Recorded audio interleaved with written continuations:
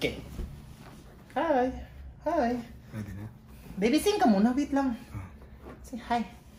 Hey, pakilala ka muna kasi may talent ka, di ba? Into the unknown.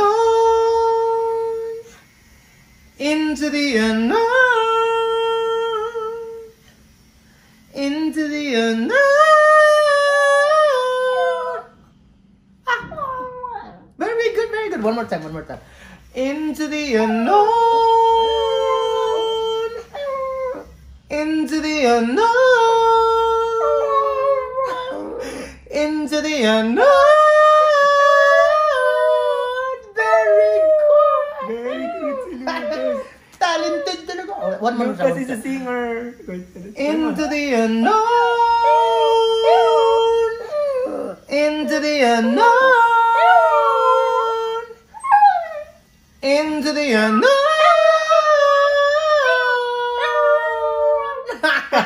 Very good. Very Very good. good. Ikaw, baby, meron ka talent? Meron ka Lucia, talent? meron ka? Lucia, meron ka talent? Eh, wala. Wala. Wala. Mana si Lucas sa kanyang daddy.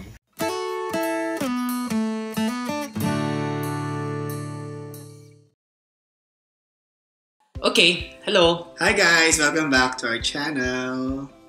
This is Lucas. And this is Lucia. Pretty little girl. Uh, they kept on asking us kung ano daw difference pa, kasi parang magkamukha lang sila.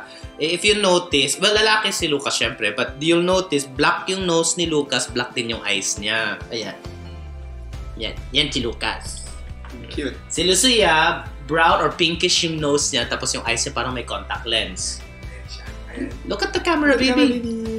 Yes! Ayan, so today guys, um, kasi may marami nagtatanong sa amin about our wedding. Uh, paano daw kami nag-prepare, at the same time, magkano daw yung ginastos namin.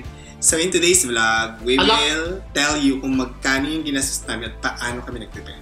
Yes, a lot of questions about the wedding including sino ang nag-officiate, legal na pala to sa Pilipinas, and we're gonna answer that today. Yes. Okay, ang uh, I have been working in the events industry for a very long time. So meron akong idea about wedding preparations. Ako po isang host ng mga weddings, ng mga um, corporate events din, birthdays, debut, ganun. So, may idea ako sa kung paano mag-prepare para sa mga event. Kaya nung kami ikakasal na, actually it took us two years.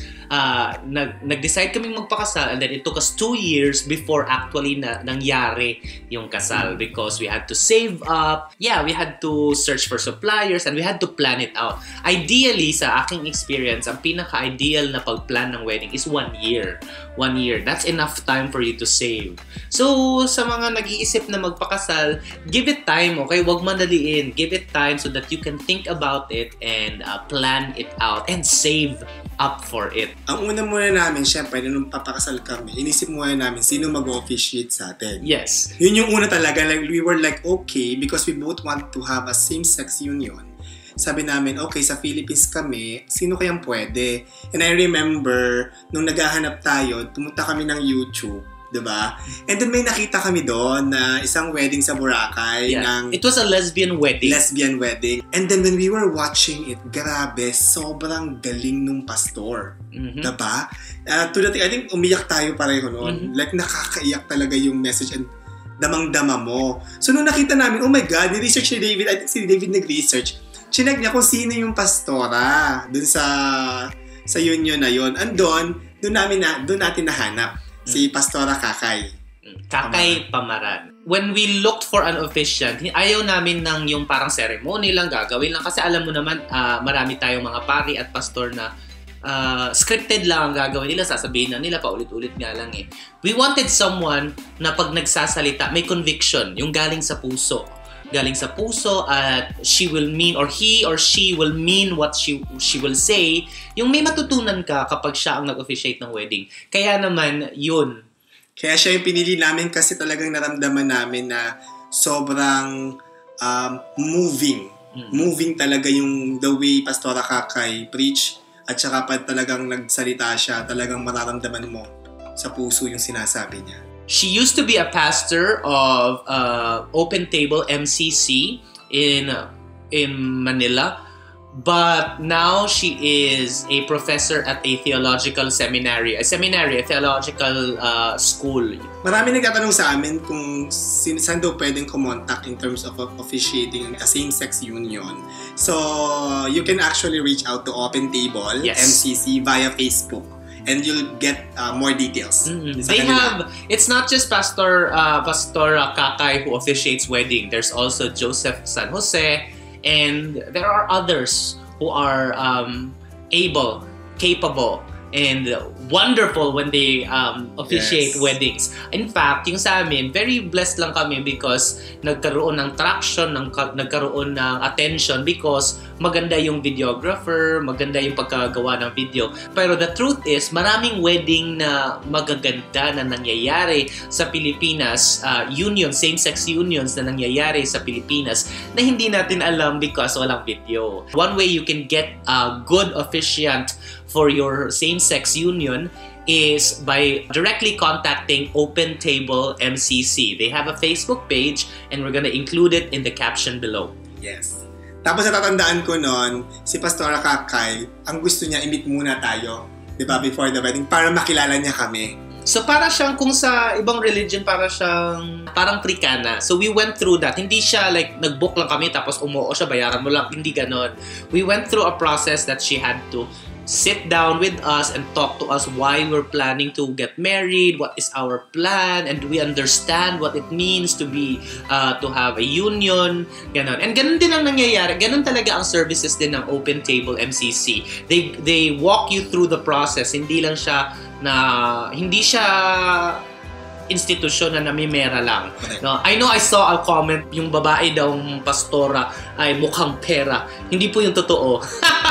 hindi po yung totoo. O, hindi po In fact, wala. Ang, ang binayad namin sa kanya is enough lang to cover her uh, travel, uh, to her food, ganun lang. Yes. It's not expensive Ah. at all. At walang presyo, actually, it's... Uh, Mm-mm. Wala. ano Actually, hindi sa mo. kanya. It goes to the the, the Church. payment we uh, we gave went directly to the church because yung institution na yon uh, in order of course any institution in order for it to continue going uh, will need the support of those who believe in its vision in its goal. So yun. So the money we paid her it helps the institution carry on with its uh, vision and that is including to to to provide union services for LGBT couples who believe in solemnizing their love. Okay, so ang first expense is uh, the pastor, but we're not going to include it in the Total in expenses. the total expenses because hindi naman talaga siya Required.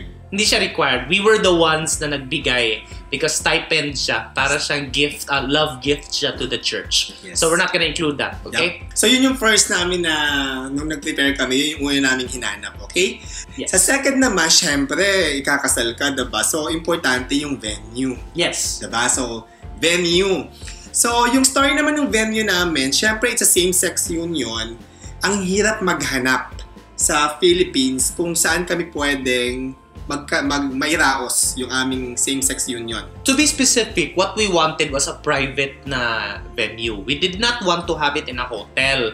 Because parang sobrang common na lahat na lang ng wedding, nasa hotel lang nangyayari yung reception, ganun, di ba? So we wanted something private and somewhere outdoors, parang garden. So we wanted the ceremony to be in a garden, tapos yung reception sa same lang na venue, na parang bahay lang, ganun. So we looked for that. But sabi Yun. nga ni Ryan, it's very difficult to look for a venue because para sa mga same-sex couples na nanonood, we have to consider that not all institutions, dito sa Pilipinas lalo na, not all institutions, not all venues are open to holding uh, unions For same-sex. for same-sex. And the experience namin, sa, sa pagkatanong namin, naka-receive kami ng rejections. That's the truth. Meron kaming, I think, two to three venues na ni-reject kami and we respect that. Yeah.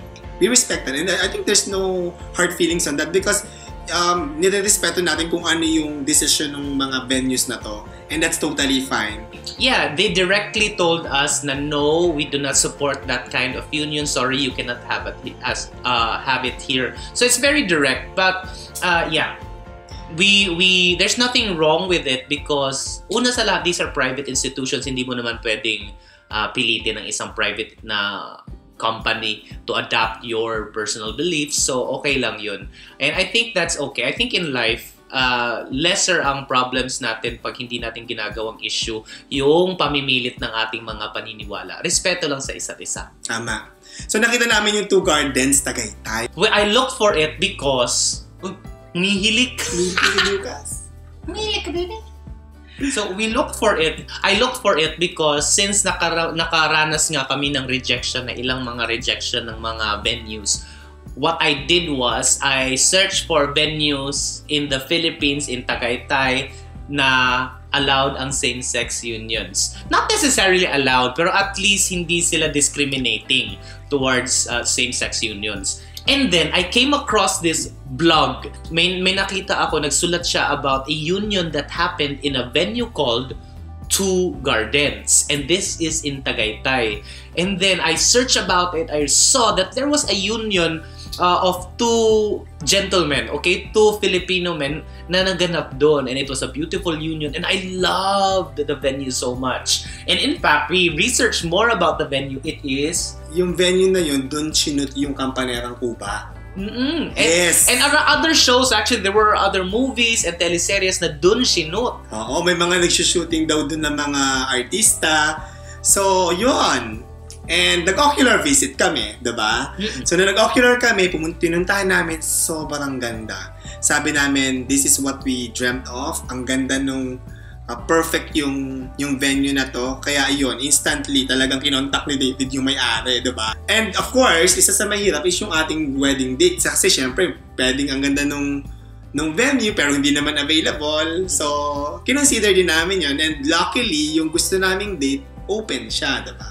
So for the venue sa Two Gardens Tagaytay, magkano yung ginastos natin? Kasi doon sa Two Gardens Tagaytay, pag nakita niyo yung wedding video namin, meron doon parang parang mansion. So, uh, i-rent mo yon yung mansion na yon and then Iba ang bayad ng ceremony area, iba ang bayad ng nung bahay, iba rin yung bayad ng gardens. That's why it's called two gardens because dalawa talaga yung garden nila. There's a smaller garden and the, The bigger bigger one.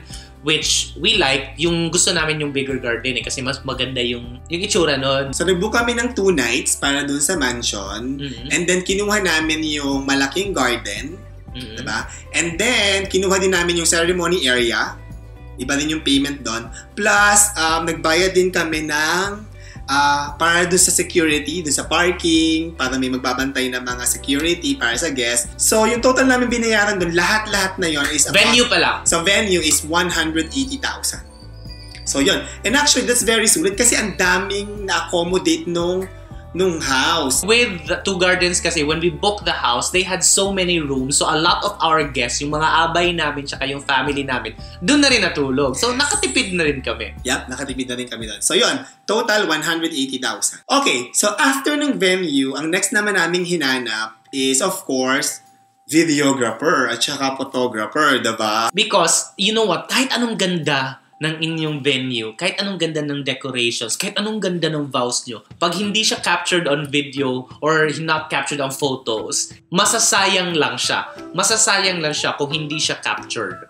Okay? So, that's why it was very important for us uh, to hire a photo and video team who will give justice to our event, to our wedding na maganda yung kinalabasan. And sulit na sulit naman, pinanood nyo, di ba? The film hat, ang aming videographer, and then ang aming photographer is Erlin Olan Photography. I met them because um, I've worked with them a, lo- a number of times. Okay? I've worked with them a number of times since I work in events nga. So, nakita ko na yung trabaho nila and I've seen so many photo and video team but I like them so much because sobrang quality nilang gumawa. Pero, ah, hindi ganun kamahal. Mahal pa din, pero yung parang ah, sapat lang sa quality nila. Okay? Because I know that there are photo and video teams na sobrang ganda pero aabot ng 200,000, 300,000. Si The Film Hat, ang total na expense namin for videographer is 115,000. But that includes yung talagang SDE namin at saka yung aming prenup shoot. Kung hindi nyo pa napapanood yung prenup shoot, nandito siya. Yan. Watch nyo. Yung prenup namin, sobrang galing, sobrang ganda rin. 'Di ba? So, yon So, sulit, di ba? May Sobrang prenup ka na, may prenup ka na, meron ka pang SDE. And guys, so, yung kinukot namin price dito yung experience namin and this was 2018 na rates. 2018. Okay? So, yon. By the way, congratulations to the Film Hat because sila din actually, si Nick Ablao, si direct Nick Ablao din, ang gumawa nung music video ni Moira De La Torre na Paubaya. na sobrang hit. Sobrang, Sobrang galing ng music video. umaapaw sa views uh, ngayon sa YouTube and everywhere. Yes, congrats. Congratulations! Congrats, Nick. Tapos, yung aming photographer, si Erlin Olan Photography, nakuha namin sila for 45,000 pesos. And that includes also yung talagang sa wedding day at saka yung prenup shoot namin. Di ba, sulit? Kasi alam ko nakakatakot minsan, alam ko maraming natatakot mag-book ng suppliers for events, no? Kasi baka tatakbuhan o baka hindi naman yung magustuhan. So one thing is people that you've already uh, worked with or kung hindi work with, na-experience yun na or yung may may friend kayong magre-refer because na-try na din nila. So tried and tested suppliers are better